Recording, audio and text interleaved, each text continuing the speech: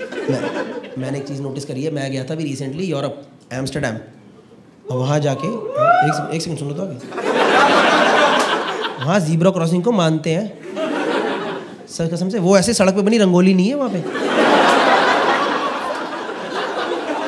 तो गाड़ी रुक जाती है क्रॉसिंग के पहले, और पैदल यात्री पार करता है। और उसकी फट भी नहीं रही कि इसको रोक के चलूँ, ऐसे नहीं। कोई हाथ नहीं दे रहा है, उसको पता ही नहीं जाएगा आगे। तो मैंने कहा, ये तो बढ़िया चीज़ है यार तो विदेश में और अपने देश में तो ऐसे नहीं देखा। मैंने कहा तो मैंने कहा, मैं ये मॉडल रेप्लिकेट करूँगा, फरीदाबाद में। एक दिन मैं घर से वापस आने के बाद घर से गाड़ी लेके निकला और एक अंकल अपने पैर लेके निकले। तो मैं गाड़ी लेके जा रहा था तो अंकल वहाँ से मेरे को आते दिखाई दे गया सड़क पार करते। तो मैंने गाड़ी, भाई साहब जीब्रा क्रॉसिंग के पहले एकदम रोक दी। और अंकल डिवाइडर पे खड़े हो गए। तो वो खड़े होकर मुझे देख रहे। तो मैं अंकल को देख रहा हूँ। फिर अंकल ने कॉन्वर्सेशन शुरू करा, जाना साले!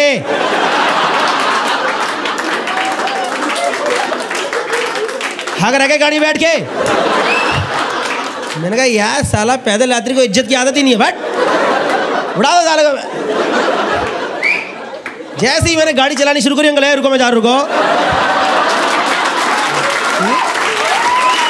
आदत है। कुछ नहीं, ये देश रोड सेफ्टी के नाम पे शून्य। यहाँ पे लाइसेंस असाइन थोड़े ना होते हैं, बटते हैं। ये लो, आप भी ले लो भाई साहब, आप भी ले लो, कोई दिक्कत नहीं। आपको चाहिए लो, आप भी ले लो। क्या साइकिल साइकिल से कट जाते हो? लो, आप भी लो लाइसेंस लो। चलाओ चलो सब चला दो, ये लो। मेरा मेरा एक दोस्त, मैं मज़ाक नहीं करो दिल्ली में लोगों को पता नहीं शायद हाई बीम क्या है। या मुझे लगता है कहीं भी नहीं पता हाई बीम हाई बीम क्या होता है ना, जब ऐसे हाईवे पे जब दूर तक कुछ नहीं दिख रहा होता ना तो लाइट मारनी होती है तेज। वहाँ हमारे यहाँ दिल्ली में पतली पतली गलियों में हाई बीम मार रहे, तेज। ऐसा प्रकाश पड़ रहा है। इनको लग रहा है रात होगी, रोशनी कर दो। इनका सीन है, रात होगी लाइट चलो लाइट सारी लाइट चला चलो। आँखों में इतना तेज प्रकाश पड़ रहा है, ऐसा लग रहा है कहीं यहाँ से विष्णु भगवान ना प्रकट हो जाए।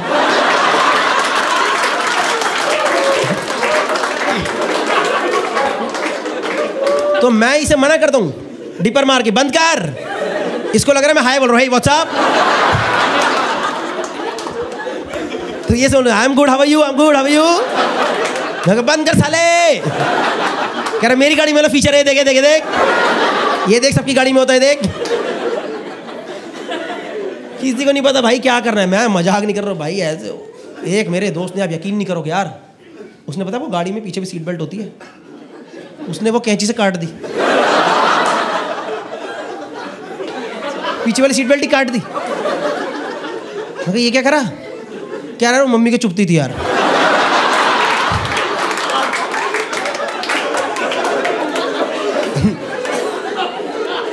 तो मम्मी ने बोला, सुट दे मैं काट देती मैं मैं कहा, भाई, मम्मी चिपक जाएँगे आगे। क्या कर रही है?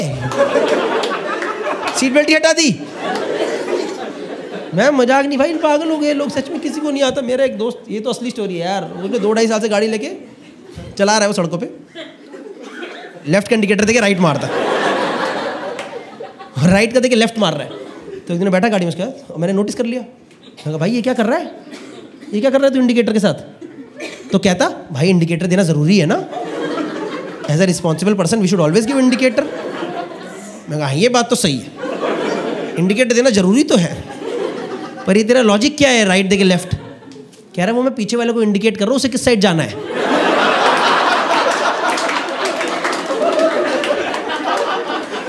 ये आदमी सड़कों पे चल रहा है। 2032 तक का लाइसेंस है उसके पास।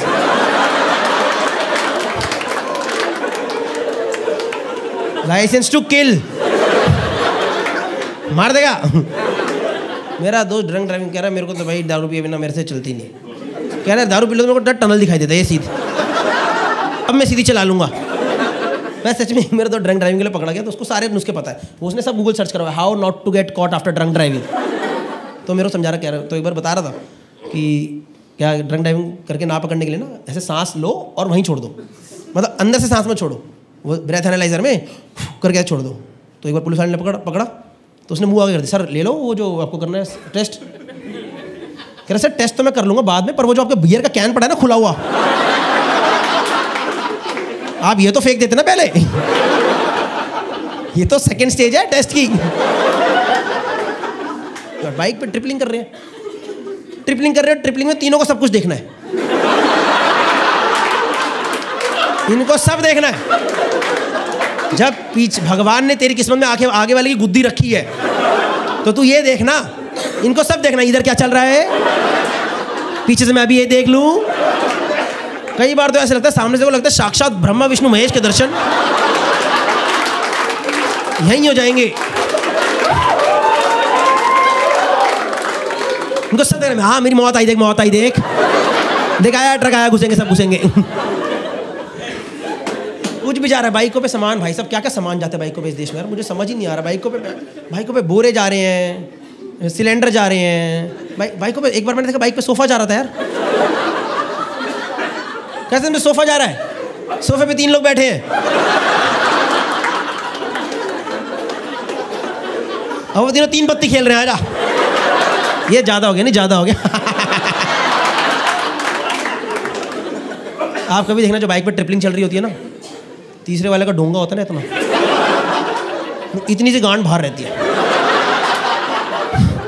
जो तीसरे वाले की इतनी गांड बाहर ये सामने वाले की टी शर्ट के भरोसे बैठा है। कि ये टी शर्ट ना फट जाए। नहीं तो मेरी फट जाएगी। पीछे वाले की गांड बाहर आगे वाले के गोटे टंकी पे।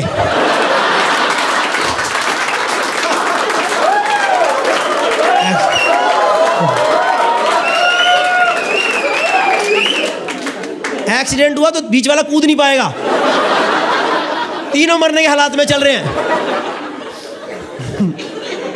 एक तो यहाँ पे मेरे को साइन बोर्ड ही समझ नहीं आते इस देश में। क्या क्या बना दिए क्या बना दिया? स्पीड थ्रिल्स बट किल्स देखो आप मर सकते हो, पर मज़ा आ जाएगा।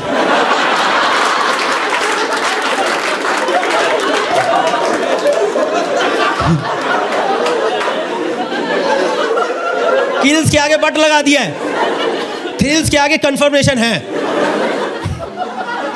कुछ भी साइन वर्ड कुछ कुछ सेंसिबल लगा दो यार। ऐसे लगाओ ना, मौत होगी तेरी। कुछ भी इमोशनल कर रहे घर पे तुम्हारा को इंतज़ार कर रहा है।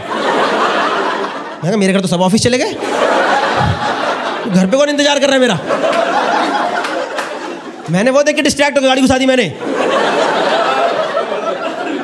घर पे कौन इंतज़ार कर रहा है यार मेरी फटली? देखो, मैं बताऊँ आपको, ये जो मैंने छः सात स्टोरी बताई ना रोड को लेकर के इतनी सारी फ़नी क्यों है? पता क्यों फ़नी है कि कोई मरा नहीं है। अगर इनमें से एक भी टपक जाता ना तो तुम्हारी फट लेती। फ़ोन पे बात करते करते गाड़ियाँ चल रही हैं। करते हो आप लोग? चलाते हो? इतना झूठ मत बोलो। मैं मज़ाक नहीं, मैं आपको क्या बोलूँ? मैं खुद चलाता था पहले गाड़ी ऐसे, पर अब नहीं चलाता मैं। अब नहीं चलाता, क्योंकि अब मेरी फटली है। मैं सच और एक बहुत गंदा इंसिडेंट हुआ था यार। मेरे, अभी तो मैं शादी होगी, शादी से पहले मैं अपनी बंदीगत घूम रहा था एक बार। ऐसे दिल्ली में एक एरिया कुतुब इंस्टीट्यूशन एरिया तो मस्त, वहाँ पे शाम को ठंडी ठंडी रहती है अच्छा सा एरिया है, लक्ष्मण के पराठे वाला उधर। जाओ, पराठे पराठे खाओ। तो रात को हम गाड़ी में जाके ड्राइव ड्राइव कर रहा था और कुछ बात में फ़ोन देख रहा था बड़ी देर तक। मतलब ड्राइव करते करते फ़ोन नहीं, ऐसे चुटपुट लगा रहता है। तो शायद चलाते चलाते गाड़ी ऐसे जानी शुरू हो गई। और मुझे पता ही नहीं चला। सामने से बाइक वाला। वो घुसते घुसते बचाया उसने वो गाली दे के गया ऐसे काट मार के, और मेरी बंदी ने मेरे यहाँ पे थप्पड़ दिया सीधा। क्या कर दिया तूने ये? तू मेरे को ही मारे, खुद को ही मारेगा अभी। तो मेरे को रियलाइज़ हो गलत है यार सॉरी क्योंकि मेरी गाड़ी वो लक्ष्मण के पराठे में घुसने वाली थी सीधा। उसके तवे पे ही पार्किंग होती मेरी, ये ले। पर मेरी सच में फट ली यार, मैंने कि फक ये क्या कर दिया यार? मैंने तो मैंने सॉरी बोला, मैंने कहा सॉरी यार, गलती हो गई। यार ये क्या, तू पागल हो गया? किस तरीके से गाड़ी चला रहा है? तुझे पता नहीं कितना गंदा एक्सीडेंट हो जाता है, मेरा इतनी गंदा एक्सीडेंट हो चुका है एक बार इस तरीके से गाड़ी चलाने में फ़ोन देखते देखते तो मैंने कहा सॉरी यार, पर क्या हुआ था ऐसे? इतना नाराज़ मत हो। कह रही, मैं एक बार यार नोएडा से टोल टोल से नोएडा जा रही थी तो वही फ़ोन पर लगी पड़ी थी और घुसा दी गाड़ी डिवाइडर पर मैंने और पूरी गाड़ी पलट के दूसरी साइड एकदम उधर गिर गई। मैंने कहा फॉक यार। मैंने कहा, फिर क्या हुआ? कह रही, फिर ना मैं मर गई।